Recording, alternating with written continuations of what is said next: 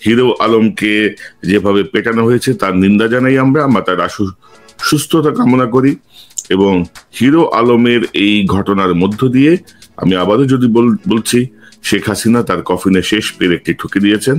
কারণ ইউরোপীয় ইউনিয়নের প্রতিনিধি দল এখনও বাংলাদেশে আছেন, আমেরিকা অবজারভেশন অবজারভেশনে আছে।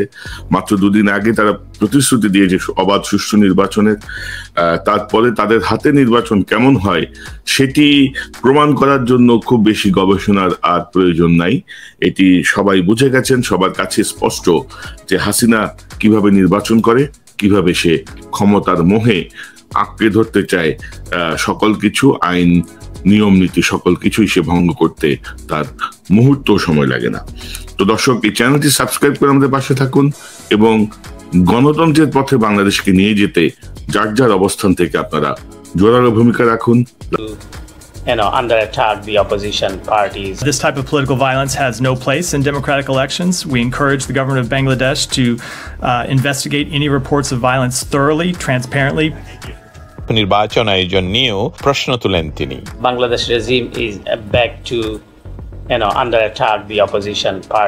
জবাবে মিলার বলেন গণতান্ত্রিক নির্বাচন প্রক্রিয়ায় রাজনৈতিক সহিংসতার কোনো স্থান নেই বাংলাদেশ সরকার একটি অবাধ ও নিরপেক্ষ নির্বাচন আয়োজন করবে বলেই আশাবাদ ব্যক্ত করেন তিনি যুক্তরাষ্ট্র বাংলাদেশের নির্বাচন প্রক্রিয়া গভীরভাবে পর্যবেক্ষণ করছে বলেও জানান Miller This type of political violence has no place in democratic elections. We encourage the government of Bangladesh to uh, investigate any reports of violence thoroughly, transparently, and impartially and to hold the perpetrators of violence to account. And I would say that, as we have said before, that we would expect the government of Bangladesh to hold free and fair elections, and we continue to monitor it closely. অন্যদিকে sir আরেকটা interesting বিষয় দেখেন এই যে সফলগুলো হচ্ছে বাংলাদেশের diplomatic zone বা ধরেন আমাদের পত্রিকায় যারা কাজ করেন আমাদের সাংবাদিক মহোদয়রা তারা কিন্তু আগে পরের ঘটনাগুলোর যে বিশ্লেষণ আপনি যদি দেখেন ডোনাল্ড লু তার লাস্ট সফরে সাংবাদিকদের সঙ্গে কথায় বলেছেন যে র্যাব খুব ভালো কাজ করছে র্যাবের এই হচ্ছে এই হচ্ছে ইত্যাদি ইত্যাদি। তো এই নিয়ে আবার আরেক পণ্ডিত এখানে আওয়ামী পন্থী এক ভদ্রলোক প্রশ্ন করেছিলেন আমেরিকা স্টেট ডিপার্টমেন্টে যে তাহলে তোমরা র্যাবের ডোনাল্ড লু বলেছেন র্যাব এই এই এই তো তোমরা নিষেধাজ্ঞা প্রত্যাহার করো না কেন?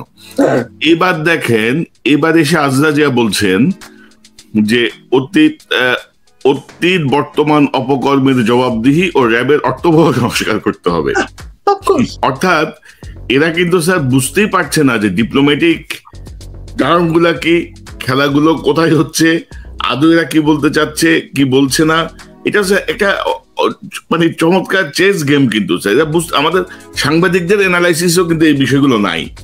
না না সাংবাদিক সমাজে মানে আপনিও তো সাংবাদিক সুতরাং আপনি একজন পিএইচডি দারি সাংবাদিক।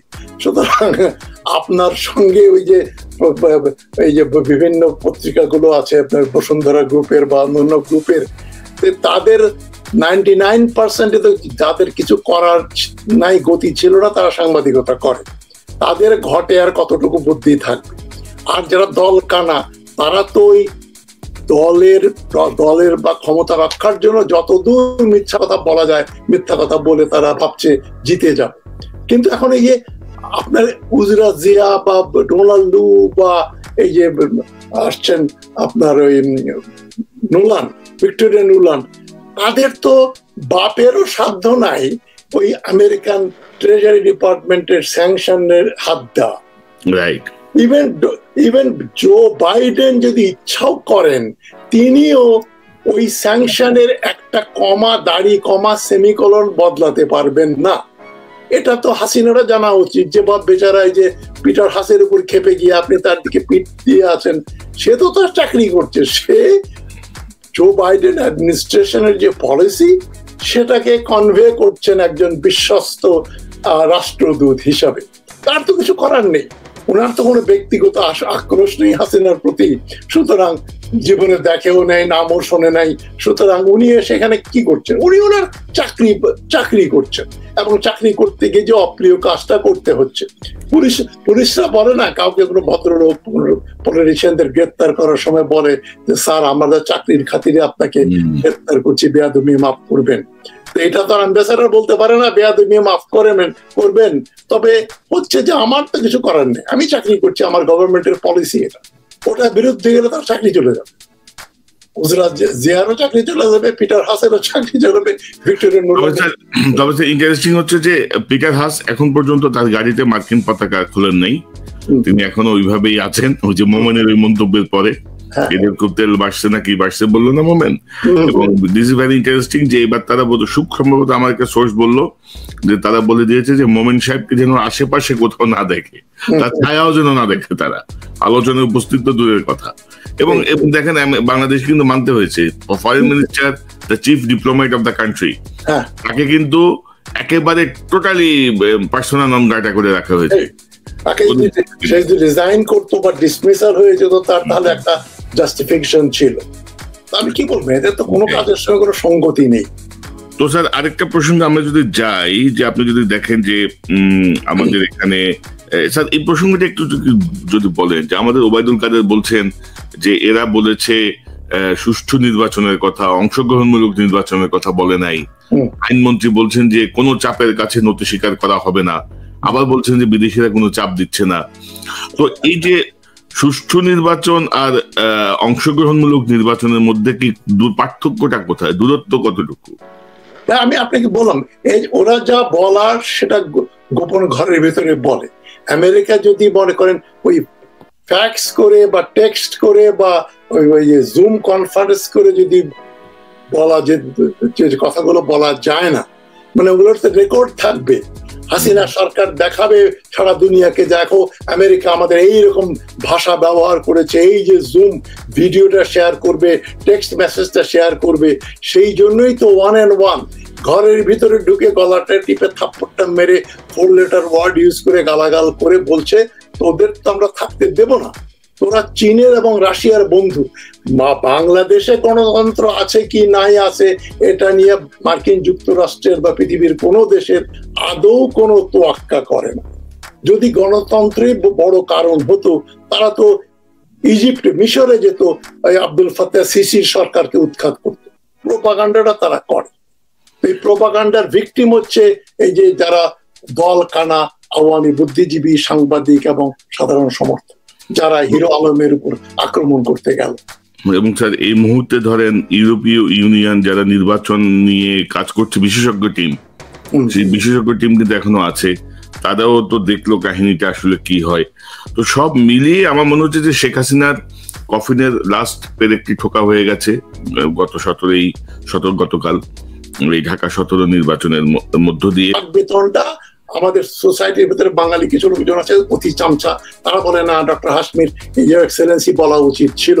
আমি দেখালাম প্রোটোকলের ভিতরে এরকম কোনো কথা লেখা নেই। আমি ঢাকায় চলে আস, আসার পরে আমি তখন যে ফরেন সেক্রেটারি ছিলেন ওনার সঙ্গে দেখা করলাম। এই কি রহমান আরে, ইয়ের জামাই আমাদের পাকিস্তান আমার যে মন্ত্রী ছিলেন। নোয়াখালীর আপনাদের, নোয়াখালীর লোক। কি চৌধুরী? অবজারভারের মালিক। চৌধুরীর জামাই। চৌধুরীর জামাই কি রহমান? ওই যে অ্যাম্বাসেডার ওনার কাছে গেলাম। উনি আমাকে বসে বলে যে তোমাকে আমি তুমি করে বলছি তুমি তো আমার অনেক ছোট। উনি বললেন ভাই এরকম কোনো প্রোটোকল থাকলে না আপনাকে দেব। উনি বললেন শ্রীলঙ্কার অ্যাম্বাসেডারদেরকে শ্রীলঙ্কান সিটিজেনরা ফার্স্ট নেমে ডাকে। যে মিস্টার মিস্টার করিম নাহলে এই কনক স্যারের হাতে কনক করে ডাকবে কনক তোমাকে এই কথা বলছি। এইভাবে কথা বলে। ইওর এক্সেলেন্সি তো এগুলো হচ্ছে কলোনিয়াল নাইনটিন সেঞ্চুরি স্টাইল। উনি আমাকে বলেছিলেন যেমন আগে আমরা চিঠি লিখে লিখে লেখার পরে বলতাম মিস্টার সোয়েনসো তারপরে স্কোয়ার ইএস কিউ এল লিখতাম শেষের দিকে। হুম, হুম। একটা অবসলিট ব্যাপার। কিন্তু এই অ্যারোগেন্স এই যে আমাকে সবাই এই এক্সেলেন্সি বলে ডাকবো না কেন? এটা নিয়ে আমাকে তো আমার বিরুদ্ধে পুলিশে কমপ্লেন করেছিল, মামলা করে। যে লোক ট্রাবল মেকার তাকে তোমরা বাংলাদেশে ফেরত পাঠিয়ে দাও। তখন পুলিশের দুজন সিভিলিয়ান সিভিল ড্রেস আমার কাছে এসে শুনলো শোনার পর হো হো করে হাসতে হাসতে চলে গেল। তো বলল যে ডোন্ট ওয়ারি উই নো এই ধরনের লোকজন থাকে। তো আপনি যেটা এই এম্বাসিতে যারা চাকরি করে, এদের মাথাটা গরম, সারাক্ষণই চিন্তা করে, আমি তো এক্সেলেন্সি এদের স্ত্রীরাও তাই মনে করে। আমি- স্ত্রীরা আর একটু বেশি মনে করে আরেক ধাপ উপরে মনে করে কিন্তু বাঙালি আমাদের যে নেচার তেল মারা হ্যাঁ, হ্যাঁ। যেখানেই তেল মারার সম্ভাবনা সুযোগ পায় তারা জাপটে ধরে তেল মারে। তো এইটা এই জন্যই হাসিনা না শুধু আপনার উপর থেকে পুরো স্ট্রাকচারটা পচে গেছে তেল মারাদের কৃপায়। স্যার এই শামীম ওসমানের গুন্ডামি দেখলাম আমরা আমেরিকায়। শামীম। ওসমান গুন্ডা শামীম ওসমান আমেরিকায় এসেছিল রাতের দেড়টার দিকে দুইটার দিকে বাঙালি অধ্যুষিত জ্যাকসন হাইট এলাকায় আসার পরে সেখানকার লোকজন তাকে ভোট চোর বোরকা শামীম না নানাভাবে স্লোগান দেয় তারা এবং এক পর্যায়ে সে উত্তেজিত হয়ে তেড়ে যায়। সে একজনকে বলে আমার নাম শামীম ওসমান আমাদের চিনস আমার চব্বিশটা কি লোক মারা গেছে আমার শরীরে স্প্লিন্টার মানে ফালতু বকা যেগুলো বকে। ওই সময় আবার তার সঙ্গে হাতাহাতি হইতো। কিছু লোক না থাকলে মানে সে মেরে মানে মাইর খেয়ে এখানে যাইতো। তো আমরা যেটা শুনলাম, আমি একটু অনুসন্ধান করে দেখলাম যে সে আসছে তার ক্যানাডিয়ান পাসপোর্টে তা বাংলাদেশি পাসপোর্টে হয়তো সে ঢুকতে পারবে না এই আশঙ্কা থেকে। কানাডিয়ায় তো তার পাসপোর্ট আছে কানাডার সিটিজেনশিপ আছে। সে পাসপোর্টে ঢুকছে এবং দুর্ভাগ্যজনক হচ্ছে, সে এখানে যে ছেলেটা মূলত প্রতিবাদের নেতৃত্ব দিয়েছিল তার বাড়ি নোয়াখালীতে সে তার গুন্ডা বাহিনী পাঠিয়ে ছাত্রলীগের গুন্ডা বাহিনী পাঠিয়ে বোমা মেরেছে। হ্যাঁ। বিষয়টা হচ্ছে যে এই বিষয়টাও কিন্তু মার্কিন অথরিটি খুব ভালোভাবে তাদের নলেজে নিয়ে নিয়েছে যে হ্যাঁ। রিপ্রাইজাল অ্যাক্ট মানুষের প্রতিবাদ করতেছে আমেরিকায়। বোমা হামলা হচ্ছে তার বাংলাদেশের নোয়াখালীর বাড়ি এই যে রিপ্রাইজাল এক বা এদের মুখোশ এরা কত জঘন্য ফালতু। আপনি কি মার্কিন যুক্তরাষ্ট্রের নখদর্পণে এবং সবকিছু মেলে মিলে যেটা ওই যে রবীন্দ্রনাথের ভাষা বলে, একে একে বাড়ি আছে দেনা।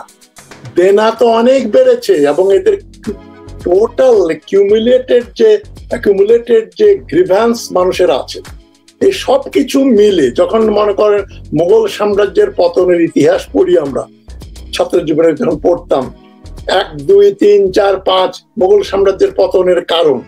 হাসিনার সাম্রাজ্য যেদিন পড়ে যাবে, তখন ওই যে ছাত্ররা পড়বে, কেন এরকম এরকম হয়েছিল? দুর্নীতি, অনাচার, র্যাব, ছাত্রলীগ, যুবলীগ শামীম ওসমান জানাল হাজারি এই হাজি সেলিম, হাজি মকবুল, সবগুলোর নামই আসবে। এর আপনি এই শামীম ওসমানের কথা বললেন, সে তো তাকে ও তার দলের লোকরাই বলে গডফাদার এবং তার বডি ল্যাঙ্গুয়েজ ল্যাঙ্গুয়েজ সেই নারায়ণগঞ্জের সাত খুনের একজন মানে তাকে সবাই বলছে হি ইজ ইনভলভ তারপরেও তো কিছু হয় না, কেননা ওই স্বামী ওসমান পরিবারের সঙ্গে হাসিনার সে বাপের থেকে খাতির। তারা আওয়ামী লীগের প্রতিষ্ঠা ওখানে হয়েছে প্রকাশ্য সংসদে হাসিনা তো স্বামী ওসমানের দায়িত্ব নিছে না? হ্যাঁ সেই। প্রকাশ্য সংসদে। সে কবরীর সঙ্গে ঝগড়া করল তারপর ওই যে আওয়ামী লীগের মেয়র তার সঙ্গে আইভির সঙ্গে ওই ঝগড়াঝাটি। তো এখন এগুলো তো নরাধম। নরাধমদের ব্যবহার এরকমই হবে। এবং এই যে স্যার আমার ধারণা একটা সময় সে বোরকা পরে পালাইছিল এবার হয়তো আগেই পালাইলো কিনা বুঝতে সময় লাগবে আর যদি সে ফিরে যায় কিনা। ক্যানেডিয়ান পাসপোর্ট আছে টাকা পয়সা নিশ্চয়ই সরিয়ে ফেলেছে। তা তো সরাইছি স্যার। করে একসময় চলে যাবে। বড় বড় চোর এগুলো সব। তো নিশ্চয়ই আমি আমি মনে করি যে সে যা করছে আমেরিকার বসে এটির নিশ্চয়ই মানে এভাবেই এভাবেই শেষ হবে না আর কি। এটার আর একটু ফলো আপ দেখতে হবে আর কি। একটু কঠোর ফলো আপ হওয়ার সম্ভাবনা অনেক বেশি। কারণ আমেরিকার মতো দেশে আমি যদি প্রতিবাদ করতে না পারি আমেরিকার মতো দেশে আমি যদি আমি তো তোমাকে মারি নাই আমি তো লাঠি দিয়ে পিটাই নাই। আমি আমার প্রতিবাদ করছি তোমরা ভোট চুরি করছ এটা স্ট্যাবলিশড তো এটা বলার কারণে তুমি আমার বাড়িতে যে বোমা হামলা করবা তোমার এত বড় সাহস তুমি এত বড় বাপের বেটা তুই বেটা বাংলাদেশ কিনছোস নাকি? তোর বাপ তোর বাবা গুন্ডা ছিল তুইও গুন্ডা। তাই না? নারায়ণগঞ্জে একজন মানুষ তাকে রেসপেক্ট করে না বাংলাদেশের একজন মানুষ রেসপেক্ট করে সে গুন্ডামি করেই গেল। যাই হোক স্যার আমরা এগুলার এগুলার অবসান চাই এগুলার দ্রুত অবসান চাই এবং আমরা আবারও বলতে চাই যে শেখ হাসিনার আসলে স্যার পায়ের নিচে কোনো মাটি নাই। শেখ হাসিনার পক্ষ যারা এখনও অবলম্বন করছেন তাদের উচিত তাদের অস্তিত্বের খাতিরে তাদের ভবিষ্যৎ প্রজন্মের খাতিরে সেই পক্ষ ত্যাগ করা। আপনি যদি কোনো মন্তব্য করেন। নিশ্চয়ই এতে কোনো দ্বিমত পোষণ করার কোনো উপায় নেই। অবকাশ নেই। তবে একটু দেখলাম যে বিএনপিও এখন তাদের স্ট্র্যাটেজি চেঞ্জ করেছে। তারা এখন ওই যে অবস্থান ধর্মঘটের কথা চিন্তা করছেন।